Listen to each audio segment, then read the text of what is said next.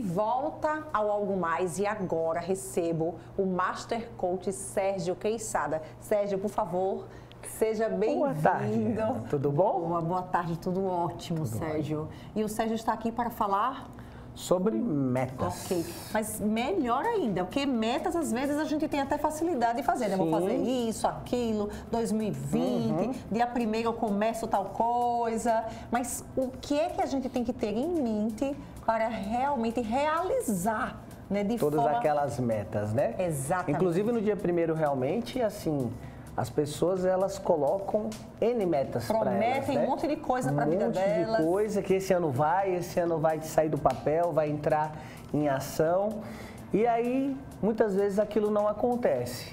E eu vou dar seis dicas para que a pessoa hum. consiga realizar uma meta. Ótimo. Então, gente, ó, preste atenção, porque é o seguinte, não é como você estipular metas. Não, isso todo mundo Vai faz. Além. Vai é além. É o que você fazer para que essas metas realmente sejam alcançadas. Alcançadas e de uma forma assertiva, porque às vezes uma pessoa também traça uma meta, ela alcança uma parte de, de, desse objetivo, né? Ela faz até metade da meta, vamos dizer assim, quando ela está no caminho, ela para.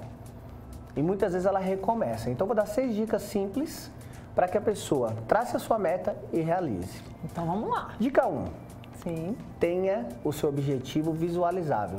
Você precisa entender qual o seu objetivo para que você elabore a meta de forma correta. Então, assim, elaborar a meta é uma coisa, todo mundo elabora. Agora, para que você atinja a meta, a meta tem que estar elaborada da forma correta. Ok. E para isso, para você fazer, você tem que visualizar. Segundo, entenda suas motivações. Qual o motivo que leva você a realizar aquela meta? Saiba os porquês. Exatamente. De alcançar realmente aquela Porque você, você traça uma meta, mas se você não tiver um porquê de fazer aquilo, você não vai realizar. Então tem muita gente às vezes que traça uma meta que é uma meta do amigo, é uma meta da família, que uma ela meta ouviu falar, filho. uma meta para o filho, é uma meta que não tem porquê para ela, mas ela coloca como uma meta para ela e ela acaba não realizando. Então, entenda os seus motivadores, os seus porquês. Terceiro passo, escreva tudo. Escreva todas as suas metas, escreva todos os seus objetivos, escreva tudo. A melhor forma de você colocar isso é você colocando no papel, é você colocando em locais que você possa ver. Então, assim, escreva, faça bilhetinho. Escreve, lê para você mesmo, lê, lê em frente ao espelho. Coloca no celular, ouve tua voz falando da meta, sabe? Toda vez que você sentir que você não está no caminho, para, coloca lá, ouve o que você colocou para você mesmo. Isso então, assim, reforça. um exercício diário, inclusive. Diário, é? diário. Isso é um exercício mental. Então, assim, isso reforça com que você, o seu cérebro ajude você a continuar naquele caminho, tá? Quarto passo, se comprometa. Você tem que estar comprometido com você mesmo. Se o seu compromisso for com os outros, qualquer coisa que esses outros façam para você vai ser uma ótima desculpa para que você não realize a meta. Por isso que é bom saber de início os motivos, Exatamente. Os porquês, os porquês têm que ser seu e você tem que se comprometer com você. Perfeito. Tá? Então, assim, esse quarto passo é fundamental. Comprometa-se com que aquilo que você tem que fazer. Inclusive entendendo que não é fazer o que se gosta, é fazer o que se deve fazer. Vencedores fazem o que se deve ser feito.